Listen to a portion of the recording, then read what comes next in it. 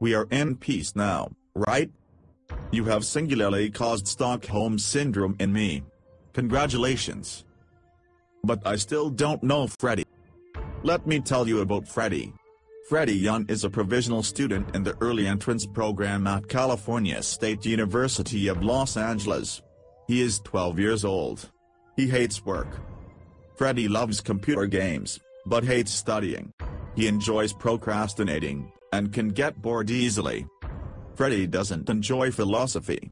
He considers writing a philosophy term paper very boring and difficult. He likes to draw comics, but doesn't like taking notes. It is sometimes difficult for Freddy to fall asleep, and always difficult for him to wake up.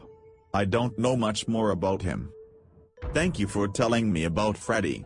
Did you know that you didn't only tell that information to me, but all the people on YouTube? Let me tell you a secret. You ready for it? I was a farmer recruited by the People Informational Center, which recruits citizens to find out about people, such as Freddy's, personal information. Just kidding. Thanks for telling me about Freddy.